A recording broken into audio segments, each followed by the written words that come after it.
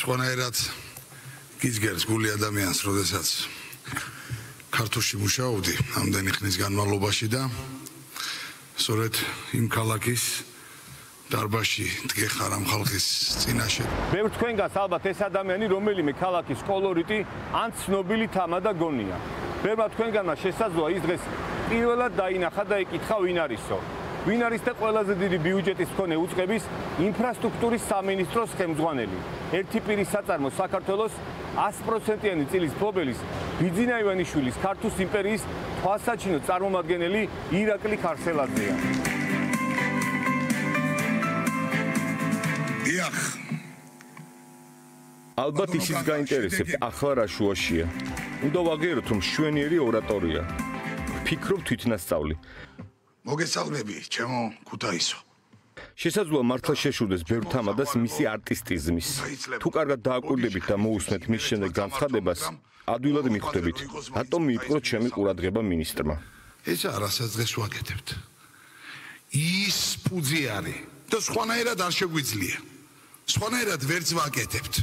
პუძე ერთია, წესიერება, პროფესიონალიზმი და ქვეყნის სიყვარული.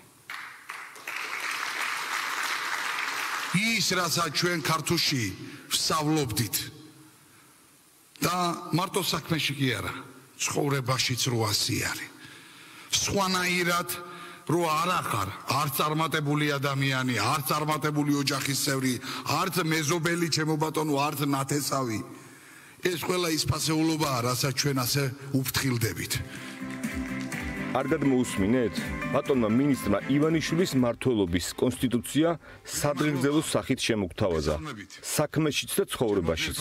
ანუ თუ გინდა რომ წარმატებულიყო ოჯახში, მეზობლობაში, ნათესაობაში, იქ იქ უნდა იყო ივანიშვილის ფუძეში. ანუ უფრო დავწვიმანდეთ და გასაგებენაზე ვთქვათ, ვინც ქართულს ანუ ივანიშვილის წესებით არ ცხოვრობს, ის ქართულს ანუ ივანიშვილის პერია და წარმატებული ვერ იქნება. ქართველების სია დიდია, შორს წაგვიყვანს. ზოგმა მათგანმა მორჩილება ამ შენობაში ისწავლა, ზოგმა შენობის გარეთ. ივანიშვილის მართლობაში მთავარი არა შენობა, არამედ ფილოსოფია.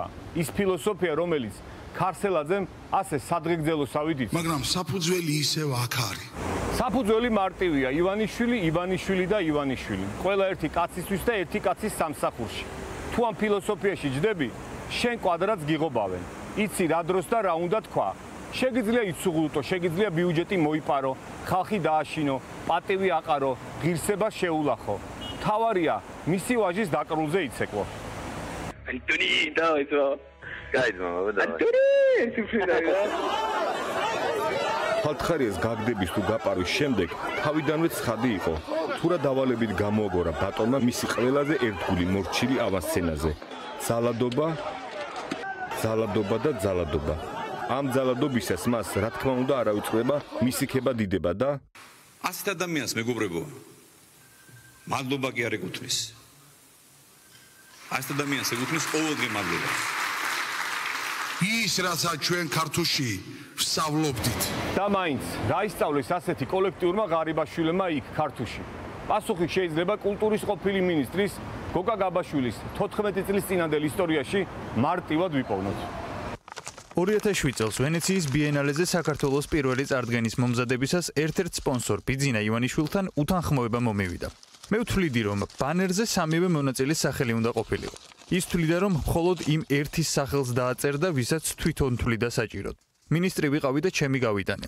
ეწყინა. მეორე დღეს ღარიბაშვილი მესტუმრა. ეგ მოდიოდა ხოლმე მისი სახელით და ცალყბად მომესალმა. რა ხდება გეწყინათ თქო? ღიმილით ვკითხე. აა, მე არა, შეფმა დამავალა რომ დღეს ცუდად მოგესალმო. მომიგო შემდგომში საქართველოს პრემიერ-მინისტრი. შემდგომში პრემიერ-მინისტრი ისევ იქ არის. ის უნდა გააკეთოს რაც მას გაუხარდება. ღარიბაშვილი მაშინაც დაახლოებით ივანიშვილის დავალებით მოქმედებს. სტილი ცნობილი რუსული, სრუ პატრიოტიზმი. გარეჯი საქართველოა. მოსკოვი და რუსეთის საგარეო დაზვერვის გამოგზავნილი ვითომ რუკების ფრიალი გულში ჯიღის ცემა. მოსკოვის საპატრიარქოს აშკარა გავლენის ქვეშ მყოფ საქართველოს საპატრიარქოსთან და რაც თავარია, იად ანტიდასავლ და პრორუსულ ძალებთან გარიგება, ზალადობა და სიზურული ერთი კაცის საამებლად და ხელისუფლების შენარჩუნება ნებისმიერ ფასად. ამ კაცმა მართლაც შეცვალა ჩვენი პოლიტიკური ცხოვრება კი არა ზოგადად თელი ქვეყნის ცხოვრება. game changer რომ მithქვიან, სწორედ ასეთი ადამიანი არის და კი ფაქტია შეცვალა. რა შეცვალა? მოკლედ რომ თქვაც, სახელმწიფო მიიტაცა. ყველა ინსტიტუტი, თვით ყველაზე ავტორიტეტული ეკლესიაც კი დაიმორჩილა. აი ცოტა მედიაში გაუჭირდა. ერთის გამორთვაში შეცდა. ახლა ერთდროულად 4-ის გამორთვა უნდა. სასამართლოს და პროკურატურის მეშვეობით. ამის ყველაზე ხილული ამბავი მისი პირადი ადვოკატის, ყოფილი გენერალური პროკურორის და ახლა უზენაესი სასამართლოს მოსამართლის თადუმაძის გადაწყვეტილებაა ფორმულას დამფუძნებელზე. მე რა რომ მანტიით სავარაუდოდ უდიპლომოა შემოსილი. თავარია მას ეს სიამოვნა. ზემოთ რუსული სურლენი ვახსენეთ. სურლენის რა გითხათ, მაგრამ რუსული ჭუჭყის, შმორის, ავტოკრატიის სუნკი ყველა ფეხის ნაბიჯზე იგრძნობა და უფრო მეტიც, რუსული სპეცოპერაცია წარუმატებელი საქართველო ახლა ფინალურ ეტაპზეა. უარი ევროპას, შეერთებულ შტატებს, თელ ცივილიზებულ დასავლურ სამყაროს. ამ გამოშიგნულ შენობაში რუსული ოკუპაციის ერთ-ერთი მთავარი ჯურგმული კრასნაზამიონის ზაკავკასკი ვაინი ოკრუგი იყო გათავსებული. აწლეულები ადამიანები, რომლებიც დასავლური ტიპის სახელმწიფო ჩამოყალიბებისთვის შრომობენ, ცდილობენ ადამიანების მეხსიერებიდან წაშალონ ტერმინი ამიერ კავკასია. თუმცა როგორც ჩანს, წარსულში ჩარჩენილი რუსული სურნელის პრემიერისთვის აქედან დანახული რუსული ზაკავკაზია ისევ ამიერ კავკასიაა. ეს არის ყველაზე დიდი გვირაბი თელს ამიერ კავკასიაში.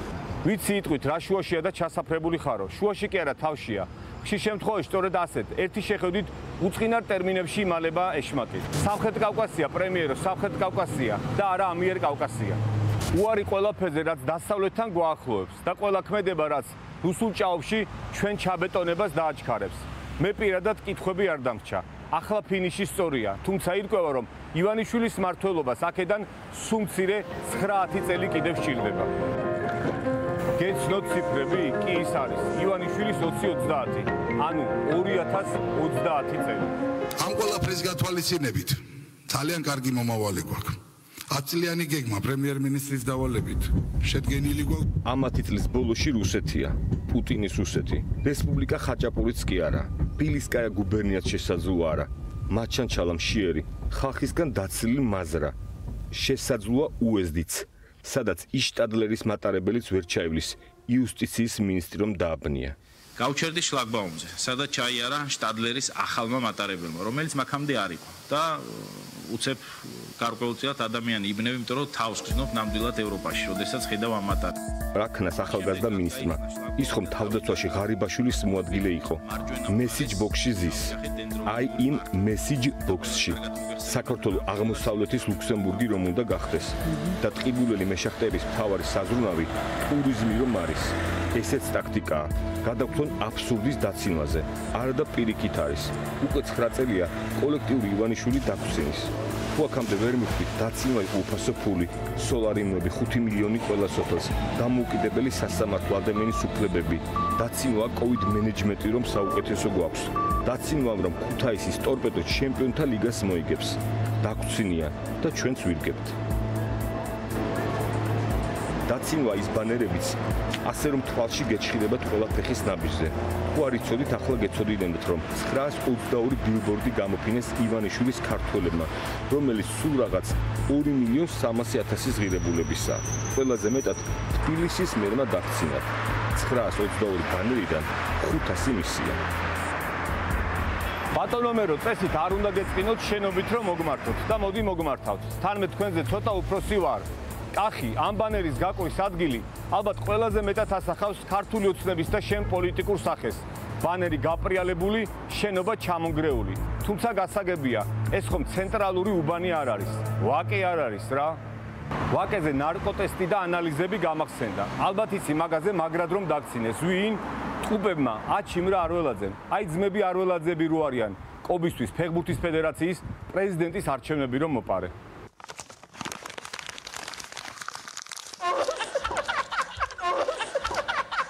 ესტონეთის პრეზიდენტი ამბობს, რომ 20 წელი აშორებს საქართველოს ევროკავშირამდე და ასახელებს იმ პრობლემებს, რაც არის დღეს წესრიგში, მაგალითად სასამართლო სისტემა. რამდენად არის ქართული ოცნება ბზად, რომ ეს პრობლემები მოაგვაროს? ჩემი პასუხი არის ძალიან მარტივი. ყველამ თავის ქვეყანას მიხედოს და ფიქრობ, რომ ყველამ თავის მამიდას მიხედოს გინდოდა გეთქვა. კერსტი კალიულაიდმა მიხედოს საკუთარ ქვეყანას? ალბათ არიცი და ის შესაძლოა ნატოს გენერალური მდივანიც კი გახდეს. ისე კი რა გეწინა რომ საქართველოს ევროკავშირში წევრობა 20 წლის პერსპექტივაში განიხილა? ესტონეთის პრეზიდენტი რა თუნდა ამას? ჩემზე კარგად იცი რომ თქვენი მართლობით 2024-ში განაცხადის შეტანაც აბსურდია. ისე 20 წელიწადში ამ ჭაობს რა ამოავსებს თუ საერთოდ ამის შანსი გაგუჩნდა. ისე კი ესტონეთის მიხედვაზე ალბათ ეს ისტორია არიცი. 13 იანვრის გამთენიისას ესტონეთის კოალიციური მთავრობის ხელმძღვანელი და ცენტრისტული პარტიის თავმჯდომარე იური რატასი თანამდებობიდან გადადგა. და იცი რატომ? წინადღეს 12-ში გენერალურმა პროკურატურამ მართული პარტიის გენერალურ მდივანს კახი გენერალურ მდივანს ბრალი წაუყედა რომ ის ადგილობრივი თვითმმართველობის არჩევნებზე ცენტრისტული პარტიისთვის შემოწირულობის სანაცვლოდ ერთ-ერთ დეველოპერულ კომპანიას შენელობის ნებართვის აღებაში მერიაში თავის გავლენებით დაეხმარებოდა ეჭუკი მას შემდეგ გაჩნდა რაც თავრობამ პანდემიის პირობებში კომპანიას 39 მილიონიანი შეღავათიანი კრედიტი გამოუღო. კრედიტი მართული პარტიისთვის სოლიდური შემოწირულობა უძღოდა წინ. აი უკვე კრედიტის გამოყოფის შემდეგ კომპანიას პარტიისთვის თანხა კიდევ უნდა შეეწირა.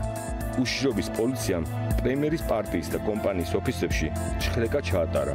პრემიერი გადადგა, კოალიცია დაიშალა.